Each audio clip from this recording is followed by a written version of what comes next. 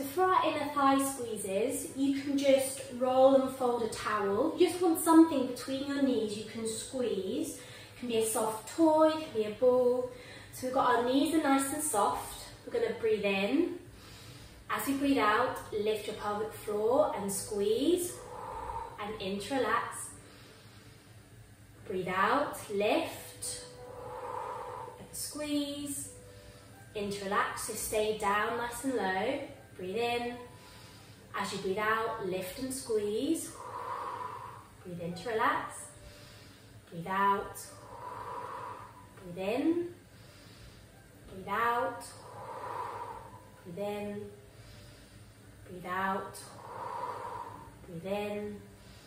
Good. As you're breathing out, we're lifting our pelvic floor and squeezing that towel.